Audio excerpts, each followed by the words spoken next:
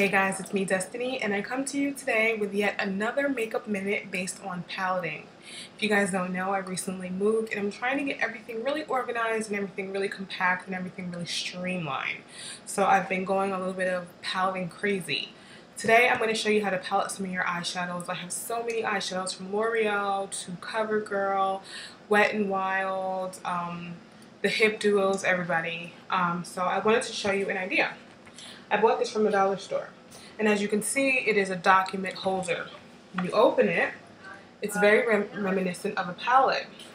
So basically what I'm going to do is take an eyeshadow. This one is CoverGirl. I'm going to take a paring knife, wiggle it down in there. Had it prepped for me. But it's going to pop right out pretty much. You really don't need to do the heat and everything like that. I mean, I haven't had to.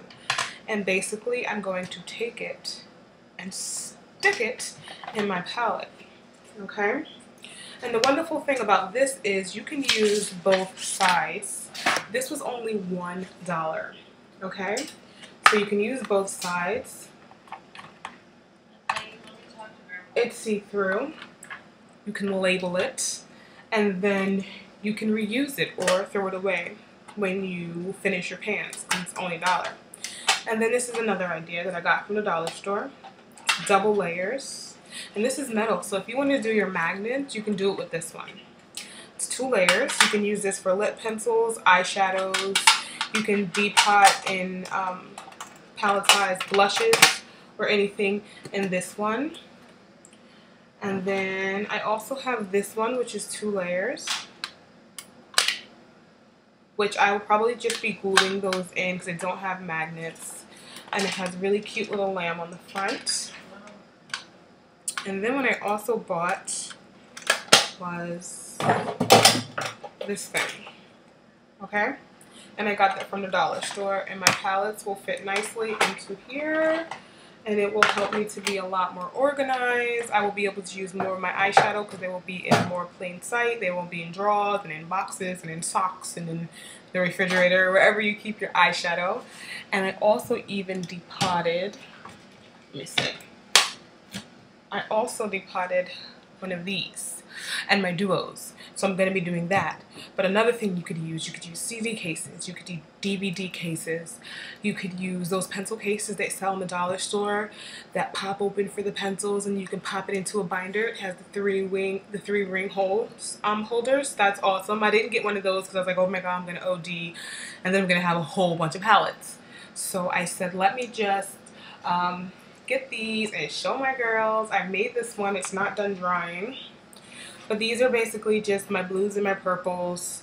And um, I have Revlon, I have L'Oreal, I have Max Factor, and I have CoverGirl. The only thing that's going to be hard about this is I'll have to probably put the names on the back. But a lot of these came from palettes, little mini palettes, like um, the CoverGirl quads. Okay, so I'm to have to put like Spice Quad or Tropical Quad so when I'm doing tutorials, you guys know which ones I'm using.